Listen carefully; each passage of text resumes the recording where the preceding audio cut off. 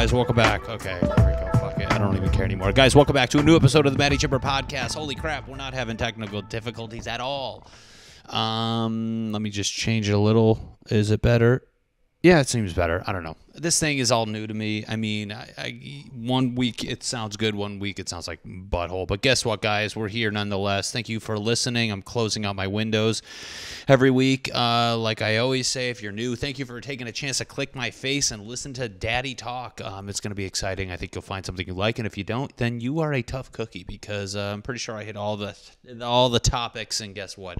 Uh, for you to just not enjoy any of them is uh, highly unlikely. So, um, but that regardless, thank you for clicking the link and returning people. Man, I gotta say, you guys are the best. You make it worth it every week, and uh, we're starting to have fun. We're starting to get more views, get more comments, and uh, I really appreciate it. it. Makes me more excited to come back to do this stuff. I um seemed a little flustered. I was trying to film a video. I just put it out. If you're watching this, it's the one I did about pre workouts. I was having a tough time with it. Um, for those of you who don't know, I do a lot of videos on Instagram. Uh, some of which are just very, sh- most of which, all of which, every which, uh, sandwich. Okay, guys. Jokes are always gonna happen on this podcast. Um, all my videos. Short funny skits very relatable uh, analogy style comedy. I i play multiple inanimate objects at once. It's pretty crazy but regardless i just uh, filmed this one about a pre-workout. I was having a hard time with it. When you have an idea people sometimes I mean, regardless if it's a comedic venture or anything, I mean, you have the first idea, then you think about it, then it becomes another idea, then you think about it more, then you're like, I don't even know what it is anymore. It does this like kind of like uh, there's a term for this chart. I forgot what it's called, but basically at the beginning you think it's a great idea, then you think about it more, and it goes down to this pit of despair, as they call it on the chart. If you guys know what chart I'm talking about, comment below. It has to do with people. Um, pursuing things. I think it has to do with ideas, anything creative or idea driven um, but anyways, at the beginning it's great, and then it goes down to the shit pit of despair where it sucks, and then it kind of the more you think about it, and the more you get better, uh, it, it you kind of come out the back end. So sometimes with these videos, I swear to God, people, I don't even know what I'm doing. I mean, I get an idea, then I think about it, then I film something, and then hey, don't mind the saw. I mean, it's it's 4:40, and they're still doing saw work somewhere. Um, but yeah, so sorry about that. Anyways, um filmed a couple ideas, and uh, the first one sucked. Basically, I was trying to play like a scenario where, like, if I were to drink coffee before the gym, you kind of push back on it. It doesn't give you enough oomph to go to the gym, so there was that kind of interaction. And then I went to a one with me in pre-workout where I um I the pre-workout was very sketchy, had like a fake cocaine on its nose. I was threatening it. It was very because when you take a pre-workout, it just gets you so amped and very crazy. And then I was like, eh, I filmed it. It was whatever. And then I uh, and then I I put it together too. I was just like, what the f is going on? And then I th- took a shower. I was gonna do this, and I thought of the idea I just posted, where it's funnier, where the pre-workout's very sketchy, and the whole idea is that they're so good and weird. It seems illegal. So I had the Coke on the nose. I'm acting sketchy. I did a couple more vignettes um, or scenarios in the thing that I didn't put in the final product of the video. But, anyways, I just got done with that. I just put it out. I'm not going to look at it for the next 35 minutes, uh, which is um, in the world of posting things. I don't know if any of you do that. It's tough. I train myself not to. I try not to look at things within the first hour because right now I'm very the the wound or it's a new baby and it, I'm scared to see it fail or or even succeed. I don't know. I don't. Of course, I want it to succeed, but right now I'm I kind of ignore it to let it live its life. I'm like a, a mother bear, and I'm starting to let the kid wander off. I'm not going to chase it. So you know, uh, I between me thinking of the idea, uh, filming it, editing it, that was the nurturing phase, and then I kind of let it go on its own for about an hour.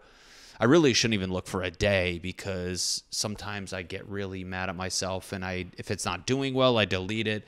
But anyways, right now it's out there. It's kind of just uh, it's it's learning how to walk, and it's uh, hopefully it's running. But anyways, I uh, I hope you guys take a peek at it. It's uh, it's silly. and uh, it's just a thing that I I don't know. It's weird. You're you're seeing me. This is the first time I've ever posted and literally put my phone on my tripod. Yes, I recorded this with my phone, and immediately went right into. Sorry, I keep fucking thinking I see shit. I'm like losing my mind.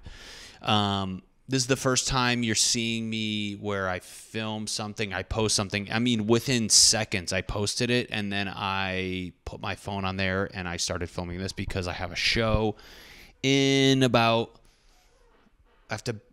The show's later, but I'm meeting friends for dinner who are on the show, so I got to get out of here relatively soon. And uh, you're seeing me in the moment. This is usually a private thing where I'm kind of uh, freaking out, seeing if it's going to be good or not and um, it's interesting. I got very mad earlier. Sorry if I, I'm very like when I get angry, I just start getting like ADD because it's like I'm mad about the noise outside.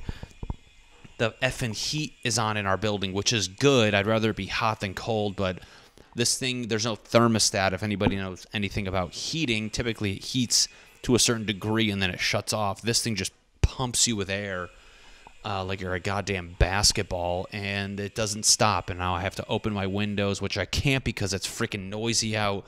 Because they're we got home improvement Tim Allen downstairs making a new building apparently, uh, and uh, yeah, I got a lot of things happening at once. So the show I'm going to, I mean, the, you know, it'll be fun. We're gonna have a good time one of those shows. I don't even know. Sometimes I'm I'm I'm trying not to be jaded lately. This is the second show in about a week where I was just like, I don't even want to do this anymore. I do I do want to do comedy, and I'm being selfish.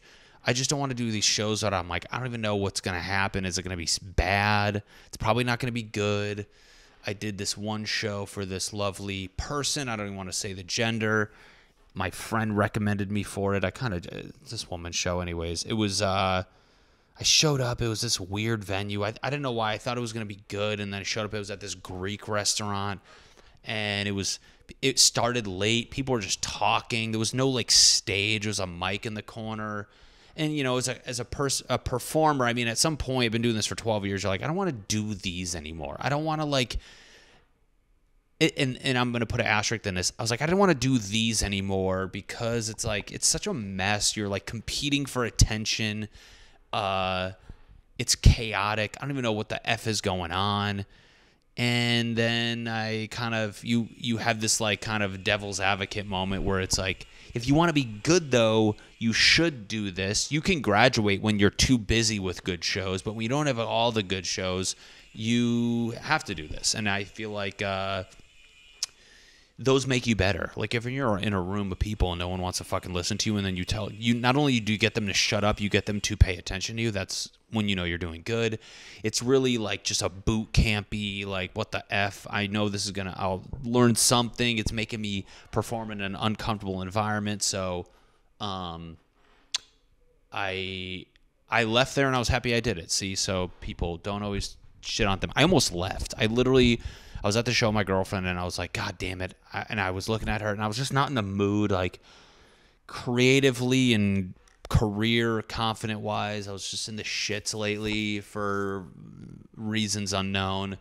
And we're just sitting there, and I'm like, I don't want to do this. Like, what the f? I just did a weird show last week where I had to like, it was a bar Halloween show, and I had to follow a kid who's really he's very funny, but he's loud, and the crowd was like all rowdy, and I was like, I was so hungover, I was not in the mood to like, I don't want to say match his energy, but I was just not in the mood to like, just be loud. I was like, dude, I'm dying. I the night before I got fucked up. Um, I was just trying to get by, and I was so anxious. I was just in my head about things, and uh that's kind of how I felt at this last Greek restaurant show. Um, but I did it. And guess what? It was fun. And the lady paid me a ton of money for how little time I did, which is the shit. And uh, so, anyways, I'm busy as shit. Did the video, did my doing this podcast now. I got to go to dinner, which that'll be a nice break. Uh, excited to see my buddies. And then I'm going to do the show, which, uh, whatever. Sometimes and I start. So I know the past couple weeks, I've been preaching how I quit my job um, four months ago. It's been crazy. It's been awesome, And uh, uh, over the last five months, six months, arguably, my old company, not the last one, the, the one prior to that, has been reaching out a ton. Hey, do you want to come back? Do you, you know, this and the other? And the whole time I was like, one, no, I'm good here at my last company. And then when I quit, I was like, you know, I quit. I want to pursue comedy. And uh, thankfully, I've been busy with videos. I've been financially, you know, covering my overhead, which is crazy to think about. And then uh, a week and a half, two weeks ago, my old company hit me up again, and they're like, "Hey, do you, you know, we have these couple projects coming up." Uh, you can do part time. You can keep doing your thing. You know, would you consider helping us out or whatever? And honestly, I uh, I I said yes. I mean, it's the holidays. My days are open. What I'm learning in like all this creative stuff is like you it's not like a day job where you're like kind of black you're just like checking like to do things off the list i mean when you're i'm busy with videos i'm busy writing but it's like that can only eat up so much time of your day and uh, I have my couple brand deals coming up are kind of in the interim of the contract thing. So I'm like, you know what? And I, I'm not for how little work I have to do for those. I uh, I just decided to do it. So I'm uh, I got my I got two construction projects coming up. I just wanted the money. I'm I fucking love money. I don't know how I mean. I say yes to everything that involves money. I I people are always like, you can't buy happiness. I'm like, well, it can buy fucking uh, not money stress. It can buy me the opportunity not to stress about money and covering my rent and not feeling like a fucking loser. And that has nothing to do with people who are struggling with money. But I'm like, I took this path of not having a standard job. And the last thing I want is to, you know, people, more so my family, thinking I'm a fucking turd. And guess what? Um, yeah, I'm doing this construction thing. People, every week I talk about how I'm effing stressed out, and then you hear me ramble off the four billion things I'm doing, and uh, I bet some of you are like, I mean, obviously you're stressed, and uh, I hope you guys are learning from me to make sure you're uh, doing what you can um, to not uh, freak out and have your eyeballs pop out because you're so stressed out. But anyways, let's make this funny can we be funny, Matt? I mean, I'm sorry, people. I know it's fun to be vulnerable on here and talk about this stuff, and I shouldn't care, but um, yeah, I don't know. I want to be silly. I want to be a silly bitch. I just went to the job site though. I do want to talk about that. And uh, it's just crazy to be doing construction again. How quickly you can forget everything. I literally walked in there. I was like, I don't know what I'm doing. I didn't say that, but I thought it. And uh, you just forget things. Four months, that's a long time to just completely check out of the career you used to do. I mean, I, and it didn't to the point where I was like, am I, do I have amnesia? Like, why am I forgetting things so quickly? Was it that not fun where I just black, blanked it out in my brain? I was, you know, I just didn't want to remember it. I mean, it's, it's, uh, I don't know, but, uh, I walked the project with my old boss and people, and I was just like, oh boy. Um, I don't know. It was uh, in that moment it made me appreciate, which is kind of like a blessing in disguise. I feel like you know taking this project, I'm excited to just you know get some steady income rather than have to chase down these fucked up companies who dick your boy over. That sounds weird. Um, uh, but in that moment, and I guess it's a blessing in disguise. I was like, damn, I just want to do comedy. I don't want to do construction anymore. I don't want to do construction. I don't want to do it anymore. I, uh, I, it's like going back to your ex. You, th- you think you, you, you missed it. You, you, you romanticize things. That's like any breakup. You break up, uh, and then for a month or two or however long you are in this phase, you romanticize what it was. You romanticize all the, you remember all the good times. You, you can't really think about the bad times and when you do you didn't you don't really put them on such a high of a pedestal as you did when you were in the relationship. And then you go back to them and then you're like oh i fuck this. Don't want any of this.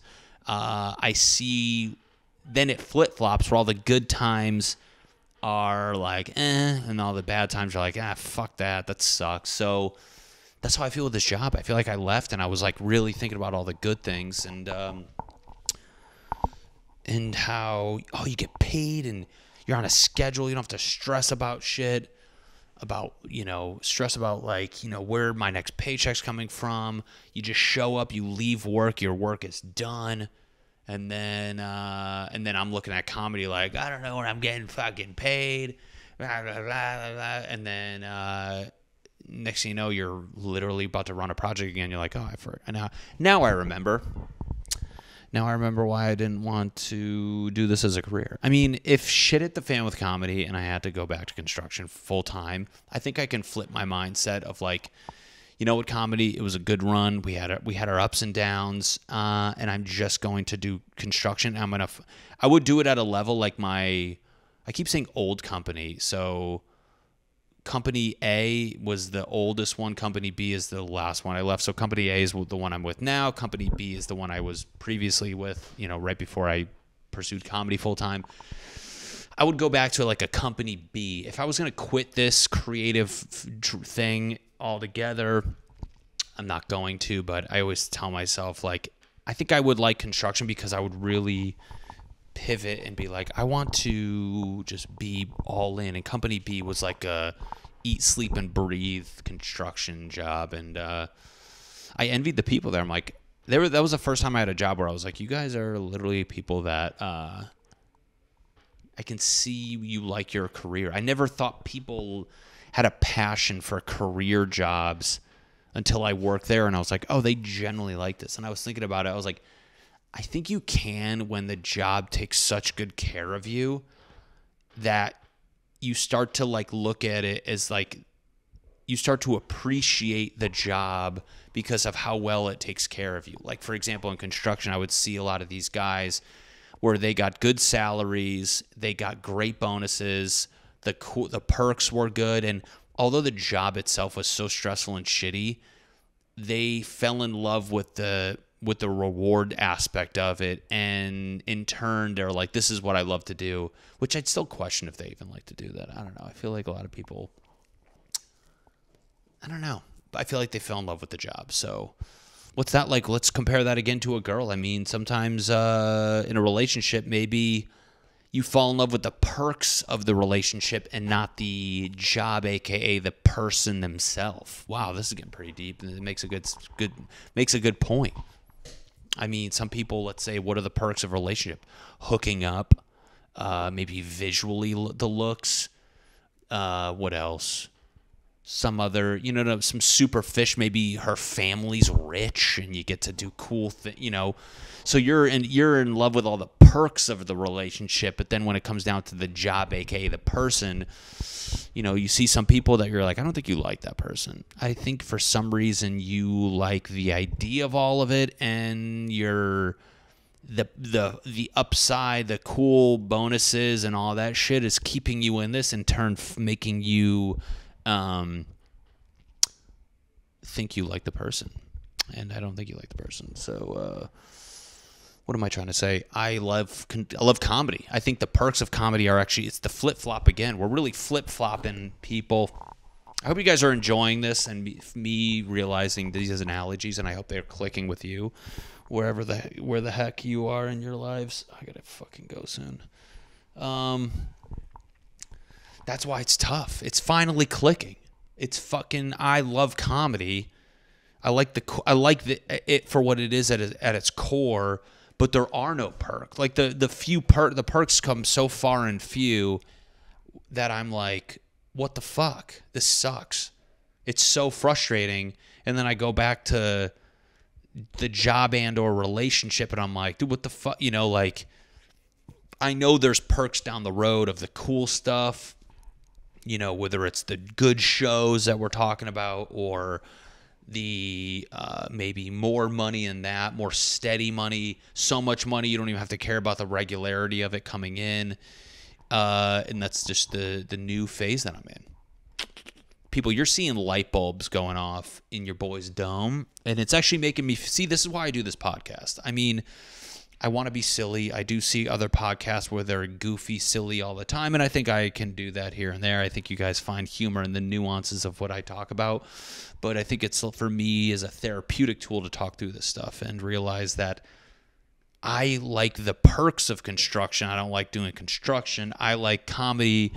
I'm just getting my ass kicked with the lack of upside perks now in comedy, even though they're starting to come in.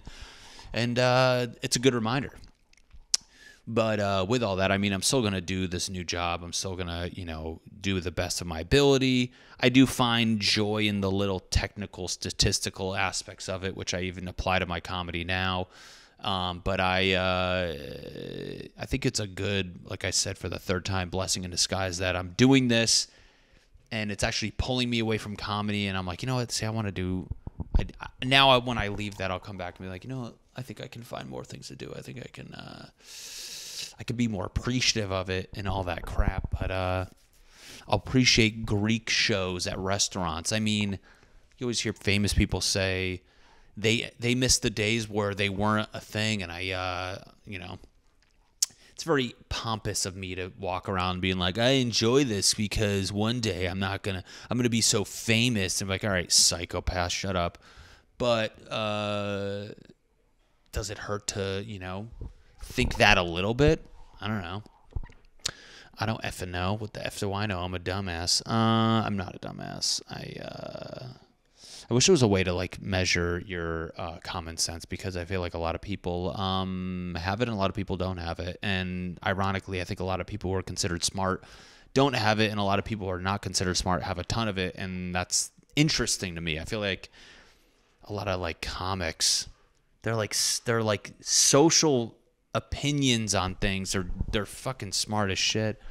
And then you hear about their like scholastic uh, resume, and you're like, well, you're on paper, you're fucking stupid. But uh, what do I know? I uh, it's always interesting to people. Know what I watched recently? I watched that documentary Killer Sally, and uh, she's a good example. It was two bodybuilders, and they were married, and it was an abusive relationship, and they, long story short she killed her husband. I don't want to ruin it for anybody. There's so many little ins and outs of it. I'll leave it at that.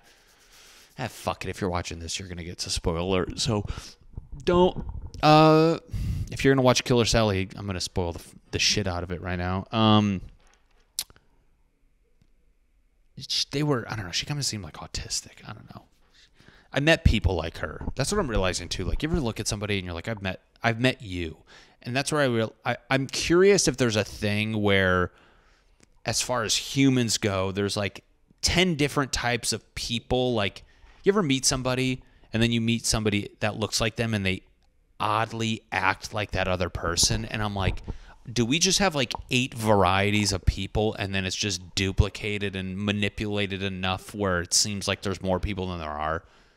I have that feeling all the time. I can name like there's like five people in my life that all remind me of each other and they actually look like each other. And it's fucking mind-blowing. And it makes me think we're in a goddamn simulation because that's insane to me.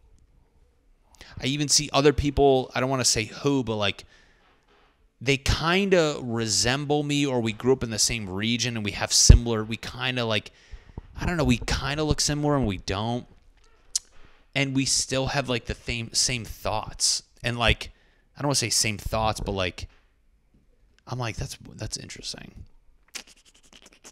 No, it's one person. It's I don't want to say comics names. Fuck it, but uh, yeah, there's people where I'm like you and you are like the same person. You have the same fucking like nose, and you talk the same. I don't know.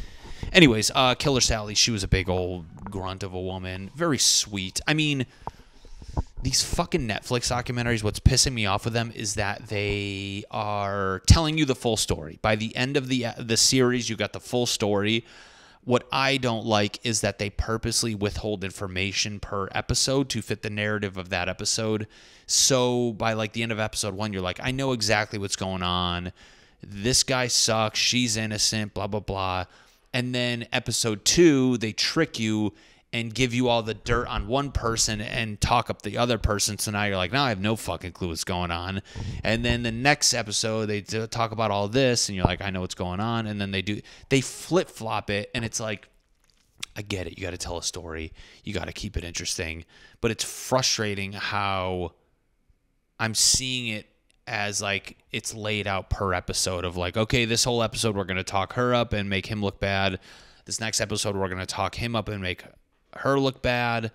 Uh, this one we're gonna talk about the incident and withhold facts again, dude. We just talk about this with goddamn Dahmer, so it flies in my face.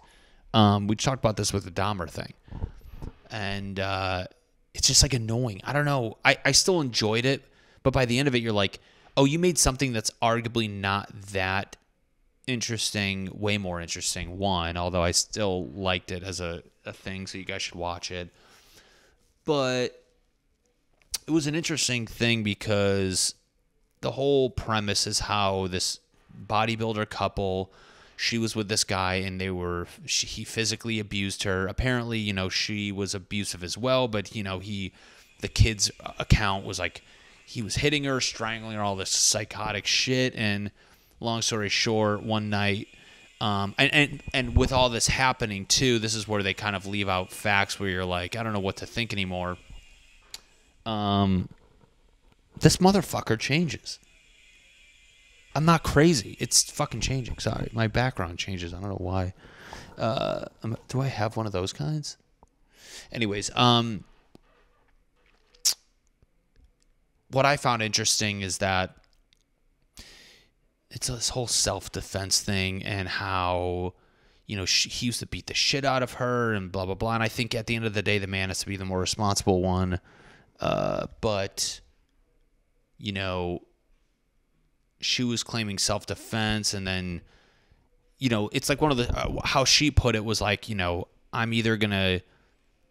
Ah, it's so hard. She was like, I'm either gonna keep getting beat and get killed, or do something about it. So then one time, he was like, uh, you know, abusing her, and then she got a gun and shot him, and then, uh, long story short, she killed him based on the guy, like the whole forensics and, and everything, they realized that there was one of the shots was, you know, the guy was already incapacitated. That's what I'm learning with us, like true crime shit, where you're like, if you shoot some somebody once in self defense and they fall down, you can't shoot them again because you're technically you're you're not in harm's way way anymore. So that's where they got not they, but that's what happened in this whole documentary. It's pretty interesting, but uh the whole self defense thing where you're like, you know, you feel this lady like you know they get tricked where it's like battered woman syndrome where they're getting the shit beat out of them and then they fucking still love the guy like some hoe pimp shit where even though the guy's treating her like shit it's like a uh, they see like security in a way i guess i don't know. Um, so then because in my head i'm like well why don't you just leave the person at night and whatever and then it's this weird like they're getting beat they should leave but then they stay because of whatever psychological shit's going on. So you have like these two like fucking magnet magnets where you're like you you got to pull each other away. I don't know. It gets you thinking. It's a good thing. And then the series ends and then you're sitting here like me being like what the fuck's going on? Although they were both were pumped with steroids so that can't uh, can't help anything. Speaking of steroids i've been taking horny goat weed which is a natural testosterone booster and guess what you boy be staying skinny. Don't work. Uh, I remember one time I used to go to this uh, place called Vitamin World, and um, I do like working out. I've been going to the gym every day. It's fun. I mean, watching those documentaries, you're like, I want to get fucking jacked. I don't want to take steroids. Although you're like, isn't that crazy? If you just took steroids, you would get fucking jacked. I think about that all the time. And um, I might be late to this dinner. I got to wrap this up anyways, this guy, uh, he was selling me horny goat reading. He goes, you're gonna want to fuck or fight everything if you take this. And I was like, should I take it? And he's like, I think he realized that he kind of embellished it quite a bit. And he's like, yeah, you'll be fine. You're good. And I'm like, don't sell stuff like that, you psycho. Um. So, anyways, I am currently taking a natural testosterone booster, and I will be um, aggressive and crazy. No, I'm just kidding. I'm very soft pillowy man who makes videos about uh, doing pre workouts, and uh, that's about it. So, guys, sorry I had to cut this short. Thank you for listening. I hope you found some nuggets of information in there that makes you think throughout the week and you have fun and you laugh and you come back next week when I will be here again. And uh, there will be less saws outside. And if there's more, we're going to go outside and figure out what the fuck's going on. But, anyways, guys, like, subscribe, comment. Love you. Thank you so much. Bye.